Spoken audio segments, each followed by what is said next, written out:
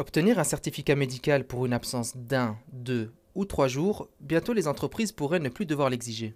C'est en tout cas le souhait de la vice-première ministre Petra de Sutter qui présente un projet de loi sur la suppression du certificat médical pour les maladies de courte durée. Selon l'UCM, ce projet est la porte ouverte aux abus. Si on retire cette obligation de se faire couvrir par un certificat médical, eh bien, euh, certains, je ne dis pas tous, mais certains ne joueront pas le jeu et donc on a un risque de porte ouverte véritablement euh, face aux, abus. Nous n'avons qu'un seul slogan, c'est pas de certificat, pas de salaire. Celui qui euh, prend congé et n'est pas couvert par un certificat, bien tant pis, et ça sera un congé sans solde. Concrètement, aujourd'hui, l'obligation de fournir un certificat médical découle du règlement de travail, de la convention collective de travail ou d'une demande formulée par l'employeur.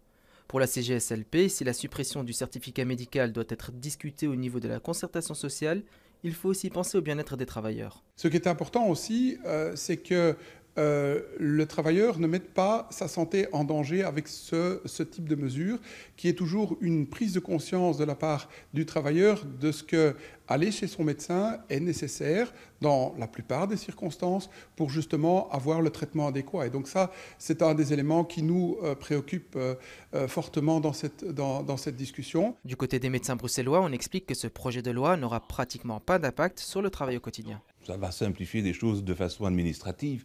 Mais ce n'est pas mon métier de décider si c'est une bonne proposition ou pas.